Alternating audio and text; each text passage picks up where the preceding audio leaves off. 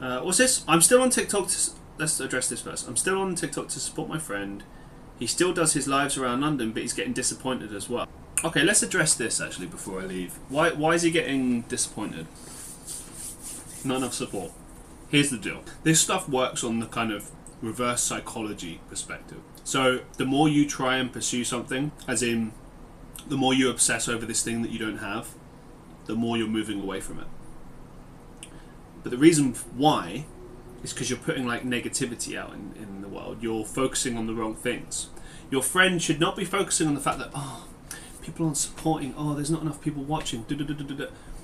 He needs to be doing this for the right reasons. He needs to be thinking like, why am I doing this? What is it I hope to achieve?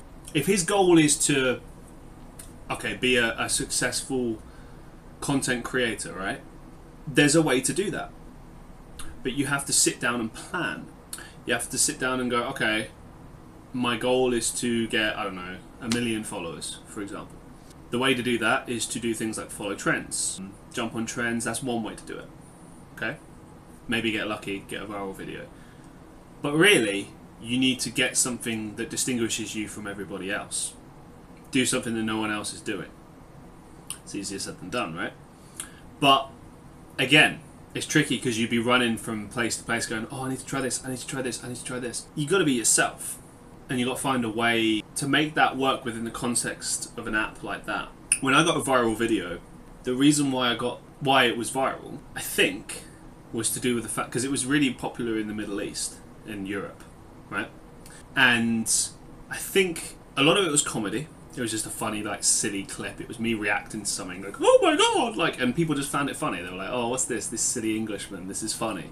Right? And yeah, and I imagine he's listen. I've been there. I know. I know where he's coming from. I know the disappointment. But the thing is, this game is relentless. It's a game. It's relentless. When I first started streaming three years ago, I streamed for eight months straight on Twitch to no one. I'd turn up almost daily. I'd do several streams. I'd sometimes do multiple streams in a day, you know, three, four hour streams a piece per day. No one would show up every single time. Every once in a while, maybe one person would show up, but mostly no one. And I was uploading the streams on YouTube and just trying to get somewhere with it, and it wasn't going anywhere. And I never gave up. I just kept popping up on on different apps, and you know, I slowly built a following just through sheer determination and just being kind of stubborn to be honest. But at the end of the day like i never got anywhere with it really uh, for a long time. But when i look back and you know, i've deleted those clips and those streams now but like i could see that why people wouldn't be invested in it because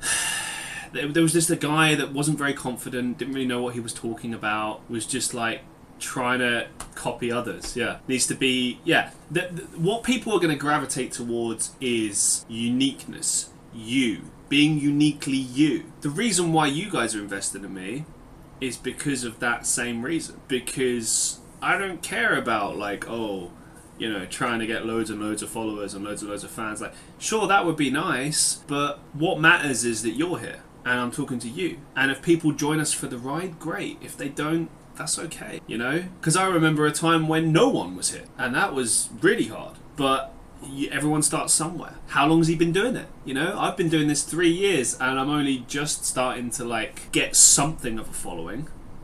But that's three years of like grinding you know? And four years if you count the fact that i was doing youtube in 2019 as well trying to just get something going.